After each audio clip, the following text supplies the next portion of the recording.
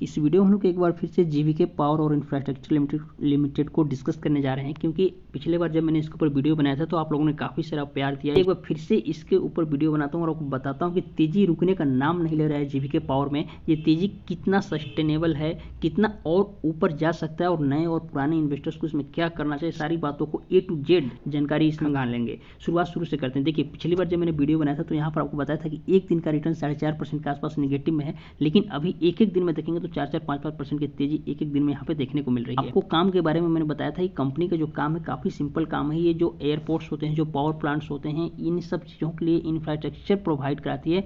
Infrastructure जैसी सुविधाएँ company मुहैया कराती है। इसीलिए इसके नाम में पावर के साथ साथ इंफ्रास्ट्रक्चर भी जुड़ा हुआ है। बेसिकली इंफ्रास्ट्रक्चर का कंपनी काम करती है। काम के मामले के हिसाब से देखें तो कंपनी का फ्यूचरिस्टिक पॉइंट ऑफ़ व्यू भी बढ़िया है। लेकिन इसके लिए और भी चीज़ें को जानना ज़रूरी है। जैसा फंडामेंटल कैसा है, जैसे टेक्निकल एनालिसिस क्या कहता है तो सारी चीज़ों को इस वीडियो में डिस्कस करेंगे। और एक लंबी अवधि में और कितना लंबी रेस का घोड़ा ये स्टॉक बन सकता है, उसको भी जानने का प्रयास करेंगे। देखेंगे कंपनी का मार्केट का बढ़कर तकरीबन तेरह करोड़ से भी ज़्यादा हो गया। पिछली बार जब मैंने वीडियो बना रहा था तो उस समय तकरीबन बारह करोड़ के आसपास ये कंपनी का मार्केट कैप चल रहा था। तो आपको पता है, जैसे जैसे शेयर का प्राइस ऊपर की तरफ़ बढ़ता है तो कंपनी का जो मार्केट कैप है, जो ओवरऑल वैल्यूएशन है, वह भी बढ़ता है।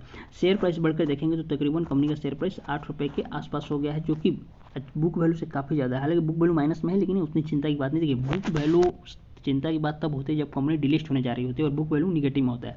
यहाँ पे एक कंपनी डिलिस्ट होने नहीं जा रही है और जिसमें बताया कि कंपनी जो काम करती है वो डिलिस्ट होगा भी नहीं। टेक्निकल एनालिसिस में सबसे जो इंपॉर्टेंट चीज़ होता है, वो होता है चार्ट देखना। तो अभी हमने आपके सामने यहाँ पे एक साल का चार्ट ओपन किया हुआ और एक साल के चार्ट पर आप देखेंगे तो इस कंपनी के लिए जो सबसे मेजर रेजिस्टेंस था, अभी तक वो था सिर्फ़ चार रुपये के आसपास का लेवल यही देखेंगे, ये रहे चार रुपये के आसपास का लेवल लेकिन चार रुपये के लेवल को कंपनी ने अभी बहुत तेज़ी से इसको ब्रेक करके ऊपर गया, पाँच रुपये के आसपास तक गया। हालाँकि थोड़ा बहुत प्रॉफिट बुकिंग हुआ, जब भी रेजिस्टेंस को ब्रेक करके प्राइस ऊपर जाता है तो प्रॉफिट बुकिंग होता है, जिसकी वजह से प्राइस फिर थोड़ा सा रिट्रेसमेंट मारने नीचे आता है। रिट्रेसमेंट मारने नीचे आया चार रुपये के लेवल तक और फिर यहाँ से एक लंबी छलांग लगाया तो अभी देखेंगे, अभी से स्टॉक का प्राइस तकरीबन आठ रुपये के आसपास चल रहा है। अब सवाल है कि आठ रुपये से और ऊपर कहाँ तक जा सकता है तो इसके लिए हमें यहाँ पे कंपनी का पाँच साल का चार्ट ओपन करना होगा। पाँच साल के चार्ट पर देखेंगे, इसके लिए यहाँ पर एक मेजर रेजिस्टेंस है, जो कि तकरीबन साढ़े नौ के आसपास का लेवल है। यानी कि इस कंपनी का शेयर प्राइस जो अब ऊपर की तरफ़ लगातार बढ़ रहा है, सीधे आएगा ये साढ़े नौ के आसपास, जो कि इस कंपनी का प्रीवियस आई अच्छा ये हाई जो बनाया है प्रीवियस आई दो में बनाया था और दो हज़ार अठारह के बाद देखेंगे तो अभी दो में जाकर इस कंपनी का शेयर प्राइस अपने ऑल टाइम हाई के पास आते हुए आपको दिख रहा है।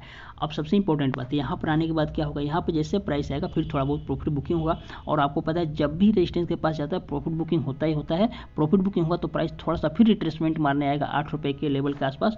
और रिट्रेसमेंट मारकर फिर यहाँ से प्राइस जब ऊपर उठेगा तो फिर नया टारगेट इस कंपनी का डिसाइड होगा। अच्छा मैं ये क्यों कह रहा हूँ कि रिट्रेसमेंट मारने आठ के आसपास तक ही आएगा? क्योंकि आठ के आसपास देखेंगे तो इसका एक मेजर रजिस्टेंस है। कई बार यहाँ पर इसने रजिस्टेंस बनाया हुआ है। इसलिए आठ रुपये के लेवल के आसपास आएगा। और फिर यहीं पर अभी ये चूँकि इस बार इसके लिए सपोर्ट का काम करेगा तो यहाँ पर सपोर्ट लेकर इस कंपनी का शेयर प्राइस फिर ऊपर उठेगा और फिर एक नया हाई आपको बनाते हुए दिख सकता है। तो अभी जो लोग पहले से बने हुए उनके लिए तो अभी अच्छे दिन है। अभी इसमें बने रहिए, अभी आप कुछ नहीं करना है। हाँ प्राइस आठ के नीचे जाता है तो आप ज़रूर प्रॉफिट बुक कर लीजिएगा। और जो पुराने लोग हैं, और जो भले नए लोग हैं, जिसमें एंट्री लेना चाहते हैं, वो अभी एंट्री मत लीजिए। प्राइस लगातार ऊपर जा रहा है। थोड़ा सा रिट्रेसमेंट मारना प्राइस को नीचे आने दीजिए। आठ रुपये के आसपास, सात रुपये के लेवल के आसपास आप फिर थोड़ा सा इसमें एंट्री बना सकते हैं नए हाई के लिए। अभी चलती हुई रेलगाड़ी में कूदने का कोई मतलब नहीं है। तो चार्ट के एनालिसिस करने से क्या पता चलता है वो मैंने आपको बताया और नए और पुराने इन्वेस्टर्स को क्या करना है, यह भी मैंने आपको जानकारी दे दी। थोड़ा सा आपको मैं फंडामेंटल के माध्यम से बता दे रहा हूँ क्वार्टरली रिज़ल्ट देखे कि इस कंपनी का फंडामेंटल धीरे धीरे मज़बूत हो नहीं, क्योंकि अभी तक मैंने आपको बताया फंडामेंटल और चार्ट के हिसाब से कंपनी का शेयर प्राइस काफ़ी मज़बूत अवस्था में है और मजबूती इसमें देखने को मिल रही है। क्वार्टरली रिज़ल्ट देखेंगे तो जो कंपनी का सेल्स हुआ है, पिछले कुछ क्वार्टर में आपको बढ़ते हुए दिखा है। इसी वजह से कंपनी के शेयर प्राइस भी रॉकेट बना हुआ है और आपको पता है जब कंपनी का सेल्स बढ़ता है तो जो कंपनी का प्रॉफिट होता है प्रॉफिट भी आपको बढ़ते हुए दिखता है। तो ये देखिए, ये रहा नेट प्रॉफिट और नेट प्रॉफिट देखेंगे तो जो जून क्वार्टर रिज़ल्ट आया है, उसमें आपको अच्छे खासे बढ़ते हुए दिखा है। इसीलिए मैं कह रहा हूँ कि अभी इस कंपनी में बने रहने की आवश्यकता है, क्योंकि कंपनी का फंडामेंटल कंपनी का काम अच्छे से ग्रो करते हुए दिख रही है। तो उम्मीद करता हूँ जीवीके पावर के बारे में जो बातें मैंने आपको बताई, आप अच्छे से समझ पा रहे होंगे। मन में कोई भी सवाल है इस स्टॉक को लेकर तो मुझसे कमेंट में ज़रूर पूछिए, या व्यक्तिगत रूप से मुझसे जुड़कर बातें करना चाहते हैं तो मुझे इंस्टाग्राम पर फॉलो कर लीजिए, जिसका लिंक इस वीडियो को डिस्क्रिप्शन में मिल जाएगा। बाकी मिलते हैं अगली वीडियो में तब तक के लिए धन्यवाद शुक्रिया।